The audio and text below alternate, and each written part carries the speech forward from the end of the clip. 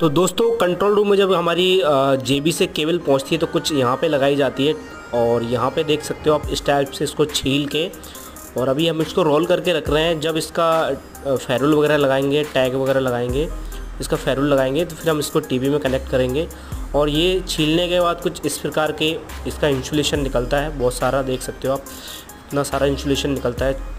तीन चार लेयर में इसका इंसुलेशन निकलता है, ठीक है? इसमें सील्ड वायर भी निकलता है और कुछ इस प्रकार की होती है हमारी थर्मोकपल की केबल और इसमें इंसुलेशन निकल जाता है काफ़ी सारा। तब जाके वो इतना सारा इंसुलेशन निकलने के बाद हमारी केबल छिल के रेडी होती है। फिर हम इसको कनेक्शन के लिए तैयार कर सकते हैं। आई होप वीडियो अच्छा लाइक करें शेयर करें। Thank you